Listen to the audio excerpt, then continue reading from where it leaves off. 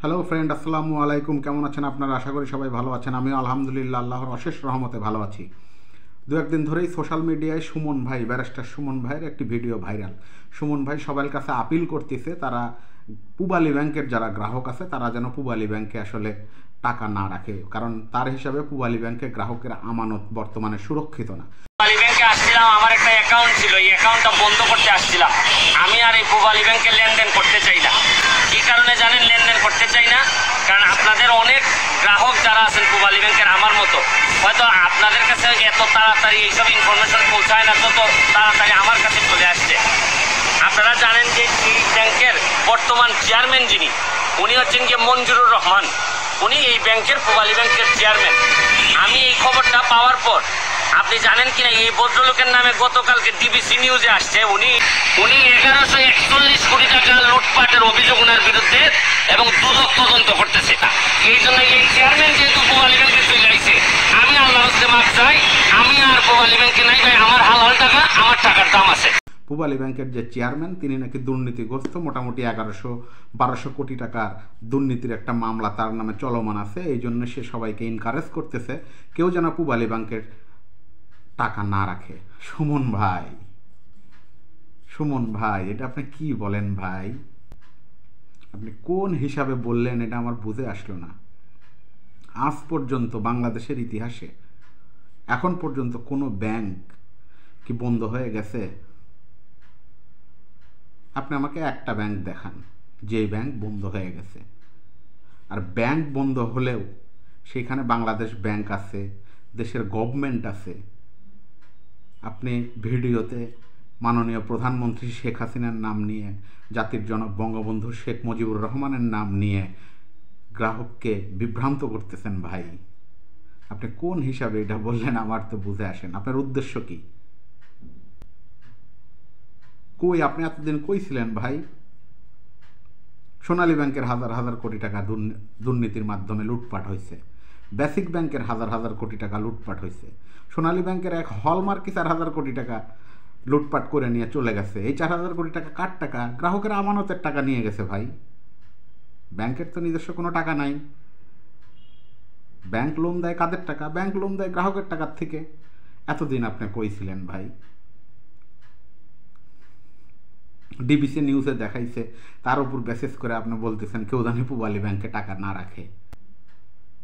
আপনার উদ্দেশ্য গ্রাহকের আমানত সুরক্ষিত করা না কোনো দিনই না। তাইলে আপনি এর আগে বেসিক ব্যাংক নিয়ে বলতেন যে, ভাই বেসিক ব্যাংকে কেউ অ্যাকাউন্ট করেন না বেসিক ব্যাংকের অ্যাকাউন্টে কেউ টাকা রাখেন না।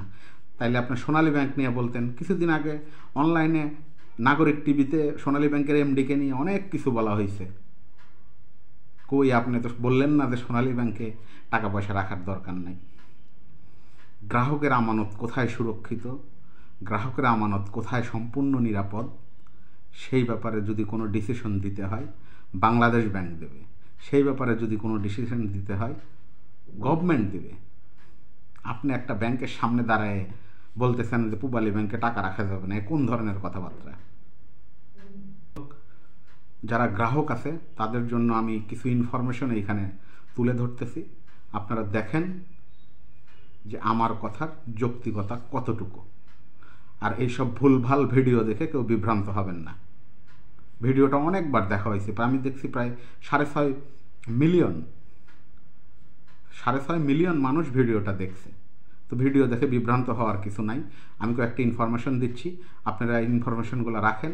আপনি দেখেন যে একটা ব্যাংক যদি দেউলিয়া হয়, হওয়ার পথে হয়, একটা ব্যাংক যদি বন্ধ হওয়ার পথে যায়, তাহলে সেই ক্ষেত্রে সেই ক্ষেত্রে গ্রাহকের আমানত সুরক্ষার জন্য কেন্দ্রীয় ব্যাংক তথা দেশের সরকার কি কি ব্যবস্থা নেবে সেই ব্যাপারটিতে বলা হয়েছে। আমি একটি আর্টিকেল থেকে সেই কিছু রেফারেন্স দিচ্ছি আপনাদেরকে। আপনারা সেই রেফারেন্স শুনলে বুঝতে পারবেন যে গ্রাহকের আমানত ব্যাংকে কতখানি সুরক্ষিত।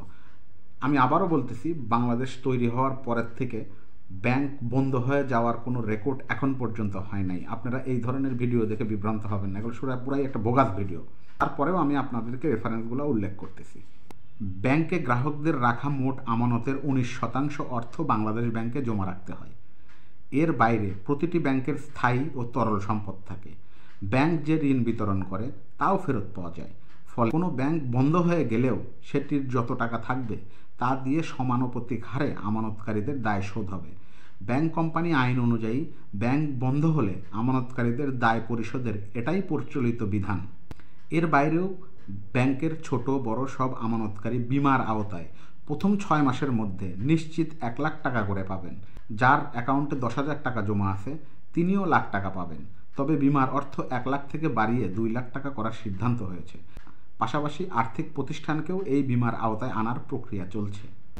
বাংলাদেশে এখনও কোনো ব্যাংক বন্ধ হয়নি। অর্থাৎ ব্যাংক বন্ধ করে দেওয়ার কোনো অভিজ্ঞতা বাংলাদেশের নেই। তবে সংকটে পড়ার কারণে ব্যাংকের নাম ও মালিকানা পরিবর্তনের ঘটনা ঘটেছে।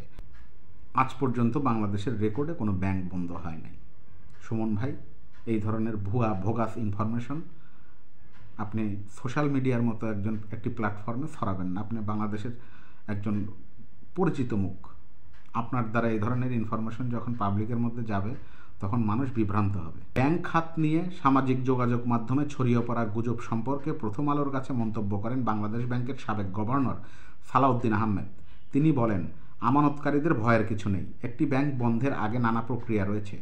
বন্ধ করা হলে বাংলাদেশ ব্যাংক স্কিম করে আমানতকারীদের টাকা ফেরত দেবে। সেই হিসাবে ব্যাংকটির সম্পদ, বাংলাদেশ ব্যাংকে রক্ষিত টাকা, জমা আমানত ও আদায় হওয়া টাকা থেকে আনুপাতিক হারে গ্রাহকদের দায় শোধ হবে। তবে তিনি বলেন, ব্যাংক খাতে বিভিন্ন অনিয়ম দুর্নীতির ঘটনায় বিচার না হওয়ায় মানুষ গুজবও বিশ্বাস করতে শুরু করেছে। তো সুমন ভাই, বাংলাদেশে এখনও অনেক সমস্যা আছে, অনেক সমস্যা নিয়ে ফোকাস করার জায়গা আছে, অনেক গুরুত্বপূর্ণ বিষয় আছে, আপনি সেইগুলোতে ফোকাস করেন, যেগুলার আসলেই প্রয়োজন।